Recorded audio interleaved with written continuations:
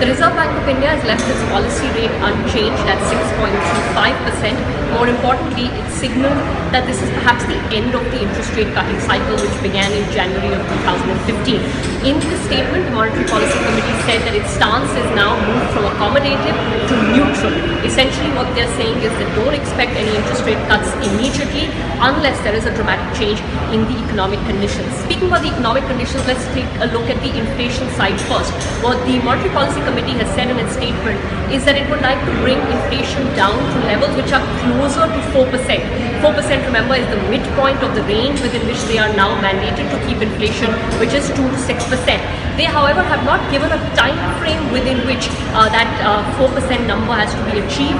In their forecast, they will say uh, that the inflation number is likely to be between 4 and 4.5% in the first half of next fiscal, but then could move back into a range of 4.5 to 5% in the second half of the fiscal. So you know that this year, perhaps for the coming fiscal, you will not achieve 4% inflation, but the RBI Governor Urjit Patel in his uh, press conference uh, said that they would try and achieve that over a reasonable period of time.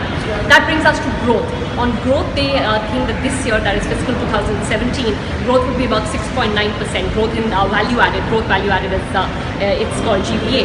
But in terms of next year, they are expecting growth to rebound quite quickly and move to 7.4%. Uh, and that is because they expect some sort of pent-up demand to come through once the remonetization process is over. We didn't get any clear answers on remonetization except that all limits on savings account withdrawals will be lifted by the second week of March. They've said that clearly the first phase of withdrawal limits being lifted uh, will start on the 20th of February.